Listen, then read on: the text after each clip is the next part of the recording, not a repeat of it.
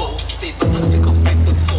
Giàu nghèo để những lần sự khổ được chịu đi và thật thật nó là người may là được sự mở. Yeah vẫn câu là đưa ta đứng thẳng. Hey, mình đang vai và tương trợ đi lên từ những con đường nhỏ. Hey.